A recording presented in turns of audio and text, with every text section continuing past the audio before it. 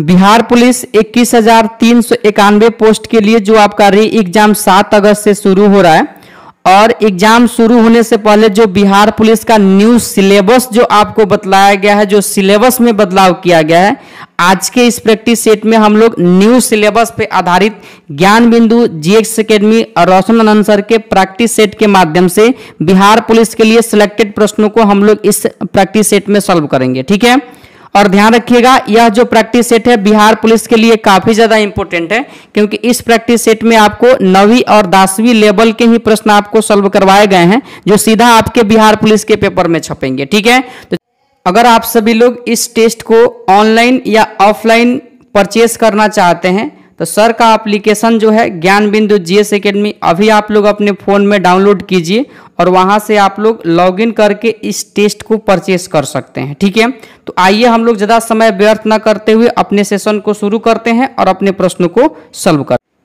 देखिए practice set का पहला प्रश्न आपसे पूछा गया है। बिल्कुल टेंथ नाइन्थ के लेवल के ही प्रश्न आपको इस प्रैक्टिस सेट में देखने को मिलेंगे, जो सीधा आपके बिहार पुलिस में प्रश्न छपेगा, ठीक है? पहला प्रश्न पूछा गया है, वायु यानी कि संरक्षण एवं प्रदूषण नियंत्रण अधिनियम किस वर्ष बना था? देखिए, अगर बात किया जाए पहले नंबर प्रश्न का सही जवाब का तो यह अधिनियम 1981 में बना था, जो आपके ऑप्शन नंबर सी में दिया गया है। पहला प्रश्न का सही जवाब ऑप्शन नंबर सी हो जाएगा, ठीक है? अगला प्रश्न आपसे पूछा गया है, सूची एक को सूची दो से सुमिलित कीजिए और नीचे दिए गए कूट से सही उत्तर का चयन कीजिए। देखिए, एक तरफ़ सूची एक में दिया गया है, भारत संरक्षित क्षेत्र और दूसरी तरफ़ यानी कि संख्या, यानी कि वर्ष 2018 के अनुसार डाटा दिया गया, ठीक है? अगर बात किया जाए कि वन्य जीव अभ्यारण्य भारत में कितना है तो ध्यान रखिएगा आप सभी लोग इस प्रश्न का सही जवाब क्या हो जाएगा? कूट नीचे दिया गया है, ठीक है?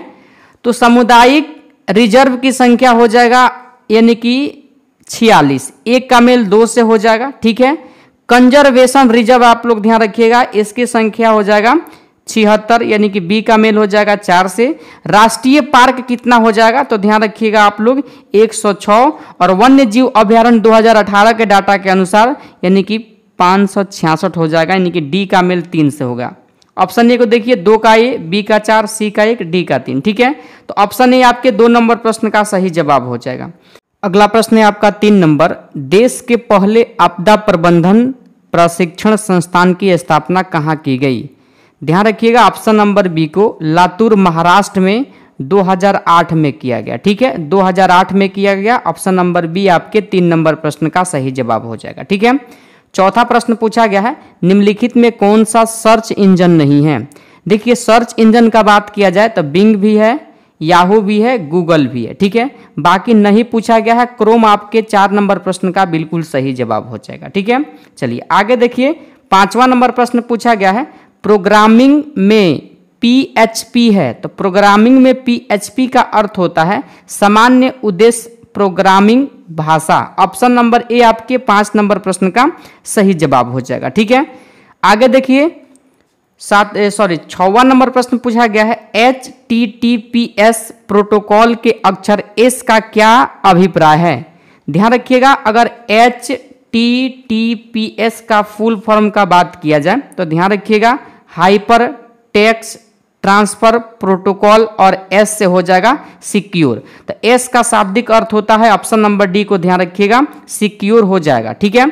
चलिए, आगे देखिए, सातवां नंबर प्रश्न पूछा है, निम्न में से अफ्रीका का कौन सा एक देश ओपेक का सदस्य नहीं है? ओपेक का सदस्य देश कौन सा नहीं है? तो ध्यान रखिएगा, ओपेक की स्थापना 1960 में हुआ था और इसका मुख्यालय वियना में है और यहीं पर ध्यान रखिएगा, ओपेक में वर्तमान में कुल 14 सदस्य हैं, जिसमें से अंगोला हो जाएगा, अल्जीरिया हो जाएगा, लिबिया हो जाएगा। बाकी बात किया गया प्रश्न में नहीं कौन है तो दक्षिण अफ्रीका इसका सदस्य नहीं है, ऑप्शन डी आपके सात नंबर प्रश्न का सही जवाब। अगला प्रश्न है आठ नंबर, वॉलीबॉल के खेल में प्रत्येक टीम में कितने खिलाड़ी होते हैं? तो वॉलीबॉल टीम में देखा जाए तो ध्यान रखिएगा, प्रत्येक टीम में ऑप्शन ए छ खिलाड़ी होते हैं। छ ऑप्शन ए, आपके आठ नंबर प्रश्न का सही जवाब हो जाएगा, ठीक है? नौवा नंबर प्रश्न पूछा गया है, निम्नलिखित पुरस्कारों में से किसको मध्य प्रदेश सरकार प्रदान नहीं करती है? देखिए, मध्य प्रदेश सरकार की बात किया जाए तो तुलसी सम्मान भी प्रदान करती है, तानसेन सम्मान भी प्रदान करती है। और ध्यान रखिएगा, यानी कि कालिदास सम्मान को भी प्रदान करती है, बाकी भारत भारती पुरस्कार को प्रदान नहीं करती है, ऑप्शन डी आपके नौ नंबर प्रश्न का सही जवाब हो जाएगा, ठीक है? दसवां नंबर प्रश्न है, भारतीय रिज़र्व बैंक में प्रथम महिला उप गवर्नर थे। कौन थे? तो विद्या भारती का नाम आप सभी ध्यान रखिएगा। ऑप्शन नंबर बी आपके दस नंबर प्रश्न का सही जवाब हो जाएगा, ठीक है? चलिए, आगे देखिए, अगला प्रश्न पूछा गया है, ग्यारह नंबर, सूची एक को सोचे दो से मिलाइए। एक तरफ़ जीव मंडल दिया गया है, एक तरफ़ उससे संबंधित राज्य दिया गया है। तो बात किया जाए नीलगिरी का तो ध्यान रखिएगा, तमिलनाडु हो जाएगा, मानस का हो जाएगा, असम, पंचमढ़ी आपका उड़ीसा हो जाएगा, और सिमलीपाल आपका हो जाएगा, यानी कि मध्य प्रदेश, ठीक है? के माध्यम से ऑप्शन सी का मेल बिल्कुल सही हो जाएगा, ठीक है? चलिए, आगे देखिए, अगला प्रश्न आपसे पूछा गया है बारह नंबर। निम्नलिखित कथनों में कौन सा सही नहीं है? बताइए, गलत कौन सा है? तो गलत की बात किया जाए तो देखिए, भारत में सबसे बड़ा बौद्ध मठ अरुणाचल प्रदेश में है, बिल्कुल सही है। विश्व का सबसे बड़ा नदी द्वीप असम में माजुली है, ये सब आप सभी जानते ही हैं। नोकरेक जैम मंडलीय आरक्षित क्षेत्र मेघालय में है, यह भी सही है। ऑप्शन नंबर बी में जो कथन दिया गया है, बिल्कुल आपका गलत कथन है, ठीक है? चलिए, आगे देखिए, तेरह नंबर प्रश्न है, नर्मदा बचाओ आंदोलन किसके नेतृत्व में प्रारंभ हुआ था? तो नर्मदा बचाओ आंदोलन की अगर बात किया जाए तेरह नंबर प्रश्न के लिए तो ऑप्शन सी को ध्यान रखिएगा, मेधा पाटेकर। मेधा पाटेकर ऑप्शन सी आपके तेरह नंबर प्रश्न का सही जवाब हो जाएगा, ठीक है? आगे देखिए, चौदह नंबर प्रश्न है, द इंसाइडर किस पूर्व पीएम की रचना है? यानी कि जो इनसाइडर पुस्तक है यह किन की रचना है तो ऑप्शन डी को ध्यान रखिएगा पीबी नरसिम्हा राव की रचना है। ये चौदह का सही जवाब ऑप्शन डी हो जाएगा, ठीक है? पंद्रह नंबर प्रश्न देखिए, निम्न विख्यात खिलाड़ियों में से राजीव गांधी खेल रत्न पुरस्कार पाने वाले पहले व्यक्ति कौन था? तो पहले व्यक्ति का अगर बात किया जाए तो विश्वनाथ आनंद का नाम आप लोग ध्यान रखिएगा ऑप्शन नंबर बी आपके पंद्रह नंबर प्रश्न का सही जवाब हो जाएगा, ठीक है? और ध्यान रखिएगा आप सभी लोग, यह पुरस्कार उन्नीस सौ इक्यानवे और बानवे में विश्वनाथ आनंद को दिया गया था और विश्वनाथ आनंद जो थे, एक शतरंज खिलाड़ी थे, ठीक है? ऑप्शन बी को ध्यान रखिएगा, पंद्रह नंबर प्रश्न का सही जवाब हो जाएगा। सोलह नंबर प्रश्न है, किस क्षेत्र में उस्ताद बिस्मिल्ला खां ने प्रसिद्धि पाई? यह प्रश्न बिहार फायरमैन में भी आपका पूछा गया है। तो ध्यान रखिएगा, एक सहनाई वादक थे ऑप्शन सी आपके 16 नंबर प्रश्न का सही जवाब हो जाएगा, ठीक है? आगे देखिए 17 नंबर प्रश्न है आपका कॉमनवेल्थ खेल में देशों की कुल संख्या कितनी है?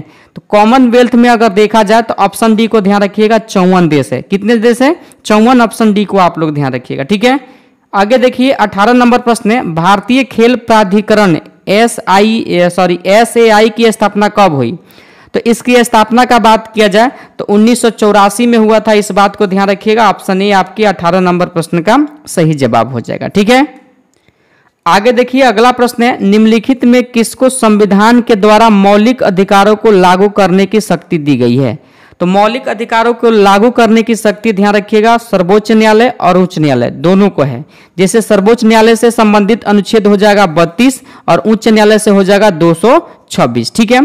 तो ऑप्शन नंबर डी को ध्यान रखिएगा 19 नंबर प्रश्न का सही जवाब। प्रश्न है 20 नंबर आपका, निम्नलिखित में कौन सा एक सही सुमिलित नहीं है? देखिए, सही सुमिलित कौन नहीं है, यानी कि गलत कौन है? ऑप्शन ए में दिया गया अनुच्छेद उनतालीस का ए समान न्याय एवं निःशुल्क विधि सहायता बिल्कुल सही है। अनुच्छेद 40 में ध्यान रखिएगा क्या है? ग्राम पंचायतों का गठन, यह भी सही है। अनुच्छेद 44 जो है, समान नागरिक संहिता, यह भी सही है। देखिए, ध्यान रखिएगा, भारत में दो ऐसे राज्य हैं जहाँ पर समान नागरिक संहिता यानी कि अनुच्छेद 44 लागू है।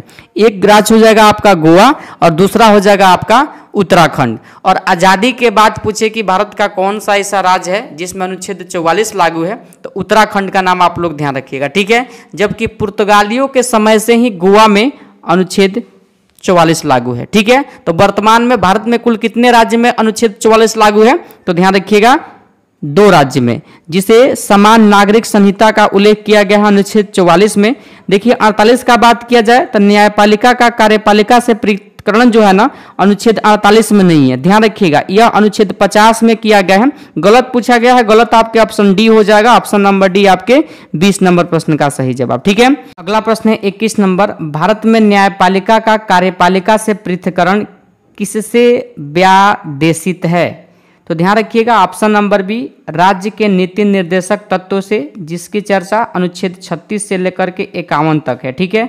और इसे आयरलैंड के संविधान से लिया गया है। तो ऑप्शन बी हो जाएगा 21 नंबर प्रश्न का सही जवाब। आगे देखिए, अगला प्रश्न है आपका 22 नंबर। निम्न में से किस एक कमेटी, यानी कि आयोग ने संविधान में मूल कर्तव्यों को सम्मिलित करने हेतु संस्तृति की थी। बताइए, इस प्रश्न का सही जवाब क्या हो जाएगा? तो काफ़ी इजी प्रश्न है, आप सभी बता सकते हैं। ऑप्शन नंबर ए यानी कि स्वर्ण सिंह कमेटी ने, ठीक है? वर्तमान में मूल कर्तव्यों की संख्या कितना है? तो ग्यारहवा है सॉरी ग्यारह है, इस बात को आप लोग ध्यान रखिएगा, ठीक है? आगे देखिए, तेईस नंबर प्रश्न है, भारत के राष्ट्रपति के पास कौन सा बीटो शक्ति नहीं है? तो भारत के राष्ट्रपति के पास, ध्यान रखिएगा, पॉकेट बीटो है पूर्ण बिट्टो है, निलंबित बिट्टो भी है। लेकिन विशेषित बिट्टो नहीं है, ऑप्शन डी आपके तेईस नंबर प्रश्न का सही जवाब हो जाएगा, ठीक है? चलिए, आगे देखिए, अगला प्रश्न है, भारत में पहली बार लोक सेवा आयोग की स्थापना किस अधिनियम से हुई थी? ऑप्शन सी को ध्यान रखिएगा, गवर्नमेंट ऑफ़ इंडिया एक्ट 1919 ठीक है? चलिए, आगे देखिए, अगला प्रश्न है आपका 25 नंबर, निम्न में से कौन राज्य सूची में है? तो राज्य सूची में ध्यान रखिएगा रेलवे पुलिस हो जाएगा, ऑप्शन नंबर ए आपके 25 नंबर प्रश्न का बिल्कुल सही जवाब हो जाएगा, ठीक है? आगे देखिए 26 नंबर प्रश्न पूछा गया, संविधान की अनुसूची छ में इनमें से किस राज्य में लागू नहीं होती है? तो लागू नहीं होती है तो ध्यान रखिएगा, असम में लागू होता है, त्रिपुरा में लागू होता है, मेघालय में लागू होता है, ठीक है? और एक मिजोरम में लागू होता है, इस बात को भी आप लोग ध्यान रखिएगा। बाकी मणिपुर में लागू नहीं होता है, ऑप्शन बी 26 नंबर प्रश्न का सही जवाब हो जाएगा, ठीक है? आगे देखिए 27 नंबर प्रश्न है, मानचित्र पर खींची हुई वे रेखाएँ जो सागर जल से समान ऊंचाई को निरूपित करती है तथा विभिन्न स्थानों से होकर के गुजरती है, क्या कहलाती है? तो समोच्च रेखाएँ कहलाती है, ऑप्शन नंबर बी आपके 27 नंबर प्रश्न का सही जवाब हो जाएगा, ठीक है? चलिए, आगे देखिए 28 नंबर प्रश्न है, निम्नलिखित में से शीत मरुस्थल कौन है? तो शीत मरुस्थल का बात किया जाए तो अटाका मरुस्थल आप लोग ध्यान रखिएगा। ऑप्शन नंबर सी आपके 28 नंबर प्रश्न का सही जवाब हो जाएगा। और यह मरुस्थल आप लोग ध्यान रखिएगा, कहाँ है? तो चिली में है, ठीक है? चिली में है।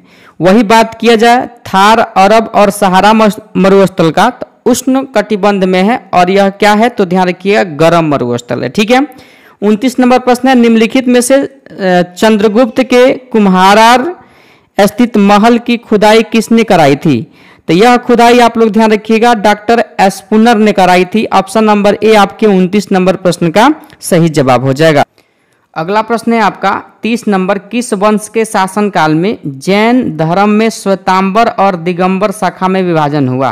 तो ध्यान रखिएगा, यानी कि 322 ईसा पूर्व में और उस समय जो शासन था, ध्यान रखिएगा, मौर्य वंश का था। ऑप्शन नंबर डी आपके तीस नंबर प्रश्न का सही जवाब हो जाएगा, ठीक है?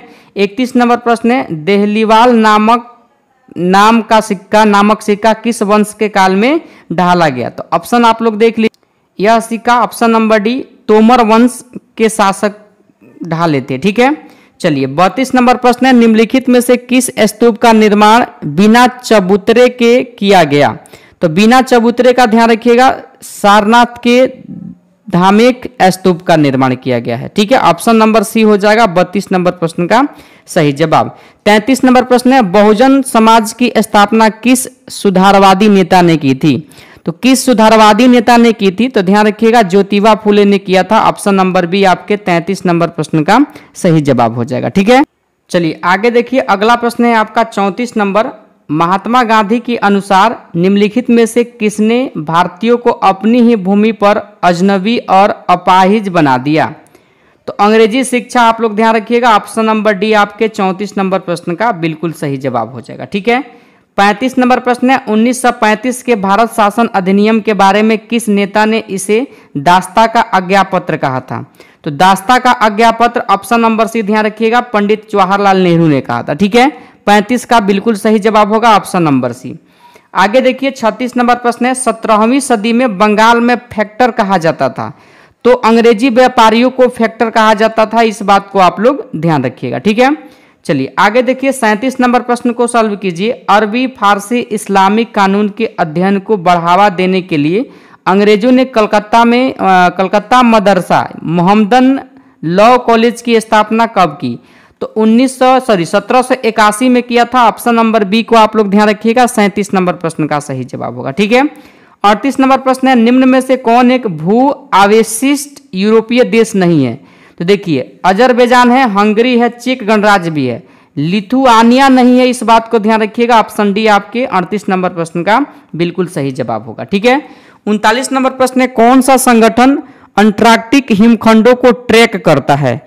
तो इसे जो ट्रेक करता है, ध्यान रखिएगा USA national ice centre option number A आपके उनतालीस नंबर प्रश्न का बिल्कुल सही जवाब हो जाएगा, ठीक है? चालीस नंबर प्रश्न को सॉल्व कीजिए। प्रश्न पूछा है, देशी रियासतों के प्रति अधीनस्थ पार्थक्य की नीति किस वायसराय ने अपनाई थी? तो देखिए, यह जो नीति है ना, ध्यान रखिएगा आप सभी लोग ऑप्शन बी लॉर्ड हेस्टिंग ने अपनाई थी ऑप्शन नंबर बी आपके 40 नंबर प्रश्न का सही जवाब हो जाएगा। इकतालीस नंबर प्रश्न है अरुंडले समिति का संबंध निम्न में से किससे है? देखिए, यह प्रश्न आपके बिहार पुलिस में ज़रूर आएगा, किसी ना किसी शिफ्ट में, ठीक है? राजनीतिक सुधार आप लोग ध्यान रखिएगा, ऑप्शन नंबर सी आपके इकतालीस नंबर प्रश्न का सही जवाब होगा। बयालीस नंबर प्रश्न है, गुप्त वंश ने डैश अवधि में शासन किया तो 319 से 500 सौ ईस्वी आप सभी लोग ध्यान रखिएगा, जो आपके ऑप्शन नंबर ए में दिया गया है, बयालीस नंबर प्रश्न का सही जवाब। तैतालीस नंबर प्रश्न है, बहमनी साम्राज्य की स्थापना किसने की थी? तो बहमन शाह ने किया था, ऑप्शन नंबर ए आपके तैतालीस नंबर प्रश्न का सही जवाब हो जाएगा। चौवालीस नंबर प्रश्न है, असहयोग और खिलाफत आंदोलन कब शुरू किए गए? तो ध्यान रखिएगा, ऑप्शन के अनुसार 1920 आपके इस प्रश्न का सही जवाब हो जाएगा चौवालीस नंबर प्रश्न के लिए, ठीक है? पैंतालीस नंबर प्रश्न है, प्रथम अंतरिम राष्ट्रीय सरकार की घोषणा कब की गई? तो देखिए, प्रथम अंतरिम राष्ट्रीय सरकार पूछा है तो ऑप्शन बी को ध्यान रखिएगा 24 अगस्त 1946 जो आपके ऑप्शन नंबर बी में दिया गया, ठीक है? अगला प्रश्न है, छियालीस नंबर, वर्ष 1946 में बनी अंतरिम सरकार में राजेंद्र प्रसाद के पास कौन सा विभाग था? तो खाद्य एवं कृषि विभाग था, ऑप्शन नंबर डी आपके, छियालीस नंबर प्रश्न का सही जवाब हो जाएगा, ठीक है? सैंतालीस नंबर प्रश्न है, भारत का सुदूर पूर्वी बिंदु पूछा गया है तो किबिथु हो जाएगा, जो अरुणाचल प्रदेश में है। ऑप्शन नंबर बी आपके सॉरी डी आपके। सैंतालीस नंबर प्रश्न का सही जवाब हो जाएगा, ठीक है? अड़तालीस नंबर प्रश्न है, भारत में स्थित प्राचीनतम समूह की चट्टान कौन है? तो अक्रियन क्रम की चट्टान हो जाएगा, प्राचीनतम, ध्यान रखिएगा ऑप्शन नंबर डी आपके। अड़तालीस का सही जवाब होगा, जबकि नवीनतम पूछेगा तो ध्यान रखिएगा, गोडवाना, ठीक है? चलिए, आगे देखिए, उनचास नंबर प्रश्न है निम्नलिखित में से कौन सा दर्रा भारतीय हिमालय क्षेत्र में नहीं है? तो लिपू लेक है ही, जो जिला आपके सिक्किम में मिलिए जाएगा सिपकिला आपका, यानी कि आंध्र प्रदेश में आपको मिलिए जाएगा, सॉरी, हिमाचल प्रदेश में मिलिए जाएगा, ठीक है? बोलन नहीं है इस बात को ध्यान रखिएगा, उनचास का सही जवाब ऑप्शन नंबर डी हो जाएगा, ठीक है?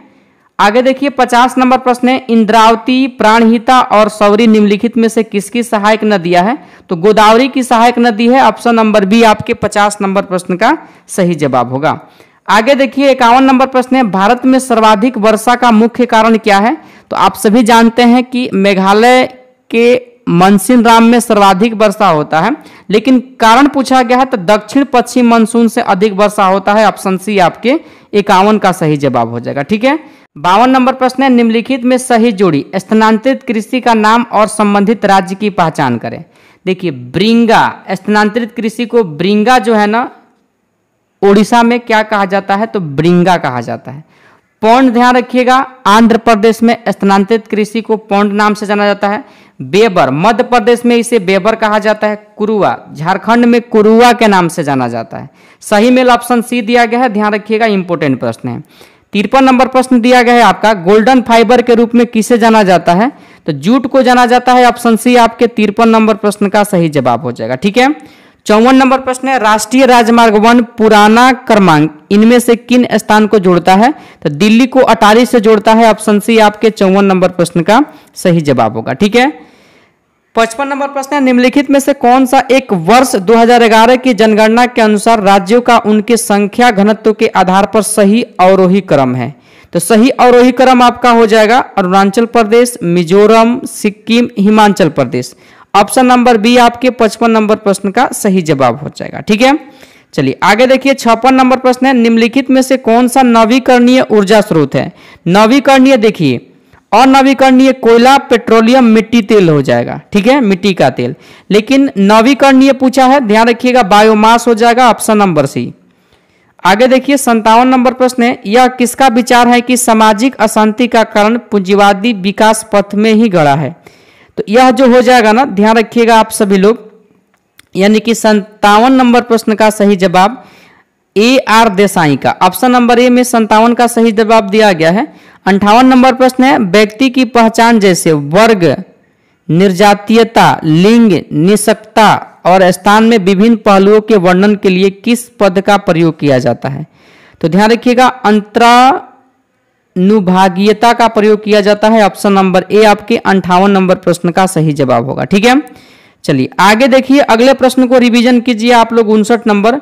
फ्लूरोसेंट लैंप में चोक का प्रयोग क्या है? तो चोक का प्रयोग है करंट के प्रवाह को बढ़ाने के लिए चोक का प्रयोग किया जाता है। उनसठ का सही जवाब ऑप्शन नंबर सी हो जाएगा, ठीक है? अगला प्रश्न है, चंद्रमा, साठ नंबर है, चंद्रमा और सूर्य के कारण होने वाले ज्वार भट्टे के बारे में कौन सा नियम स्पष्ट करता है? तो गुरुत्वाकर्षण का नियम ध्यान रखिएगा आप लोग। ऑप्शन नंबर ए साठ नंबर प्रश्न का सही जवाब होगा। इकसठ नंबर प्रश्न है कार्य किस पर निर्भर नहीं करता है? देखिए बल पर करता है विस्थापन भी, भी करता है ठीक है? संवेग पर नहीं करता है ऑप्शन नंबर सी इकसठ नंबर प्रश्न का सही जवाब होगा। बासठ नंबर प्रश्न है प्रकृति में सबसे सशक्त बल कौन है? तो सबसे सशक्त बल आपका हो जाएगा नाभिकीय बल। ऑप्शन नंबर सी आपके बासठ का सही जवाब होगा ठीक है?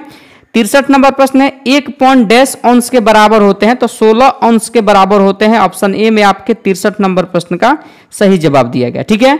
चौसठ नंबर प्रश्न है, निम्नलिखित में से कौन सा तत्व मेंडलिव की आवर्त सारणी में एक निश्चित स्थान नहीं पा सकता? तो एक निश्चित स्थान नहीं पाया है, ध्यान रखिएगा, हाइड्रोजन, बाकी नाइट्रोजन, सल्फ़र को स्थान मिल चुका है, ठीक है? चलिए, अगला प्रश्न देखिए, पैंसठ नंबर किसी टूथपेस्ट के लिए निम्नलिखित गुणधर्मों में से कौन सही है?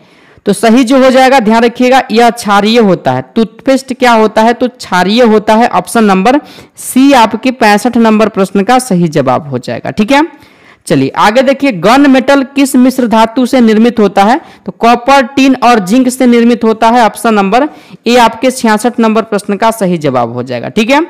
आगे देखिए, सड़सठ नंबर प्रश्न है, निम्नलिखित में से कौन सा रासायनिक समीकरण संतुलित है? देखिए, टू एम जी और टू ओ टू, और यहाँ पर टू एम यानी कि मैग्नेशियम ऑक्साइड, टू टू यानी कि ऑक्सीजन भी टू तो इधर भी ऑक्सीजन दो है, मैग्नेशियम दो तो इधर भी दो है। तो संतुलित कौन सा हो जाएगा? तो डी हो जाएगा, ऑप्शन नंबर डी आपके सड़सठ नंबर प्रश्न का सही जवाब हो जाएगा, ठीक है? आगे देखिए अड़सठ नंबर प्रश्न है, निम्नलिखित में से कौन सा एक टिंडल प्रभाव को प्रदर्शित नहीं करता है? तो प्रदर्शित जो नहीं करता है, जल के साथ ताज़ा मिश्रित किया हुआ चौक पाउडर टिंडल प्रभाव को प्रदर्शित नहीं करेगा। ऑप्शन ए आपके अड़सठ नंबर प्रश्न का सही जवाब हो जाएगा, ठीक है? उनहत्तर नंबर प्रश्न है, इनमें से किसका उपयोग कैंसर के उपचार में किया जाता है? तो कैंसर के उपचार में ध्यान रखिएगा आप लोग, यानी कि कोबाल्ट के समस्थानिक सी साठ आप लोग देखे होंगे सी साठ का प्रयोग होता है ऑप्शन नंबर ए को ध्यान रखिएगा।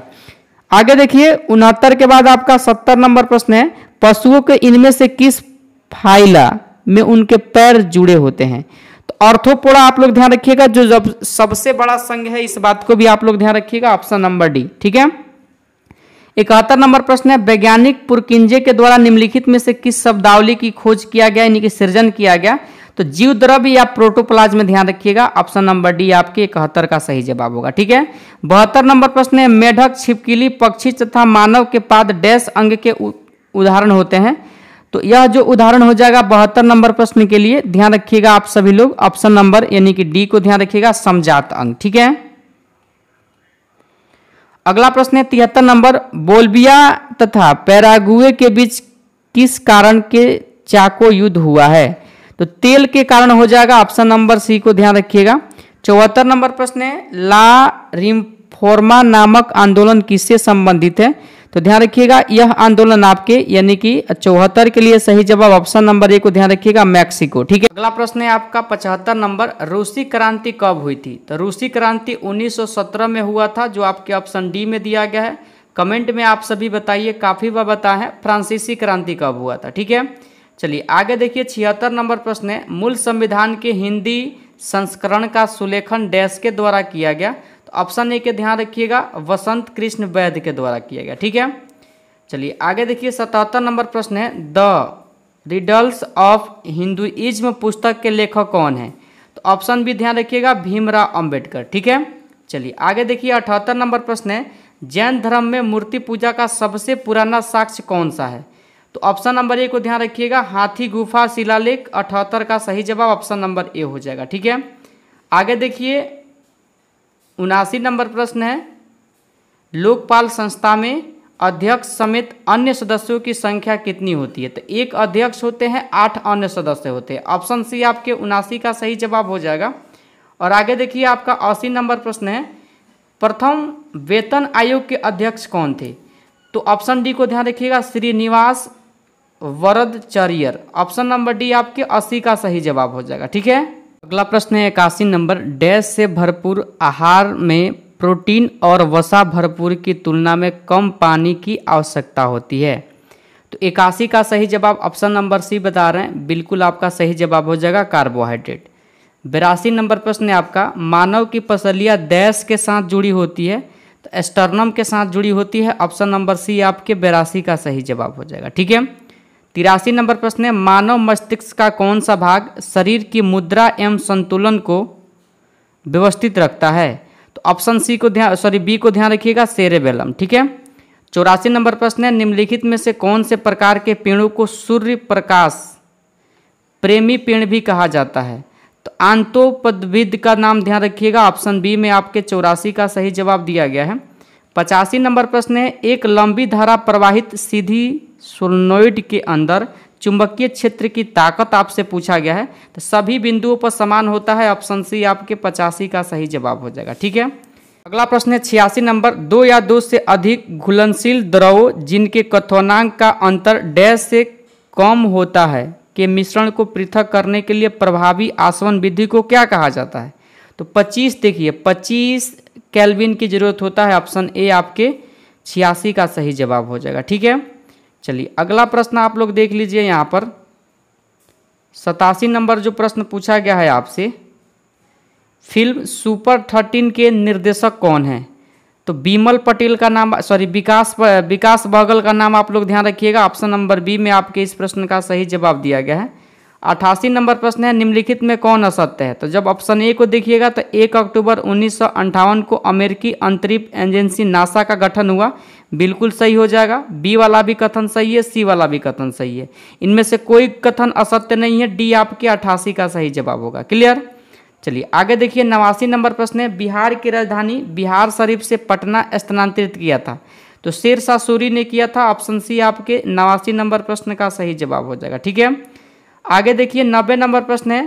पालकालीन कलाकार धीमन और विठल पाल कहाँ के निवासी थे? तो नालंदा के थे, ऑप्शन बी में आपके नब्बे नंबर प्रश्न का सही जवाब है, ठीक है? देखिए, अगला प्रश्न है आपका इक्यानवे नंबर, अठारह सौ सत्तावन के विद्रोह का नेतृत्व पटना में किसने किया था? तो पटना में किए थे, पीर अली, ध्यान रखिएगा, ऑप्शन नंबर ए आपके इक्यानवे का सही जवाब होगा। बानवे नंबर प्रश्न है, भारत में किस तरह की अर्थव्यवस्था है? तो भारत में मिश्रित अर्थव्यवस्था है ऑप्शन सी आप लोग ध्यान रखिएगा। क्लियर अगला प्रश्न है, भारतीय अर्थव्यवस्था के उदारीकरण का अग्रदूत, यानी कि पानियर किसको कहा जाता है? तो doctor Manmohan Singh option number A को ध्यान रखिएगा आप लोग, ठीक है? नबार्ड की स्थापना, चौरानवे नंबर प्रश्न है, नबार्ड की स्थापना काफ़ी इंपोर्टेंट प्रश्न है। तो नबार्ड की स्थापना 12 जुलाई उन्नीस में हुआ था ऑप्शन सी आपके चौरासी का सही जवाब सॉरी चौरानवे नंबर प्रश्न का सही जवाब होगा। 95 यानी कि पंचानवे नंबर प्रश्न है, सतत आर्थिक विकास के अभिप्राय। तो ध्यान रखिएगा, वर्तमान पीढ़ी के विकास के साथ साथ भविष्य का आर्थिक विकास। ऑप्शन नंबर ए आपके पंचानवे नंबर प्रश्न का सही जवाब है। छियानवे नंबर प्रश्न है, दासवीं के इकोनॉमिक्स से है। एक किसान किसके पास, जिसके पास एक से दो हेक्टेयर एक जोत है, जाना जाता है। तो लघु कृषक कहा जाता है, ऑप्शन डी ध्यान रखिएगा।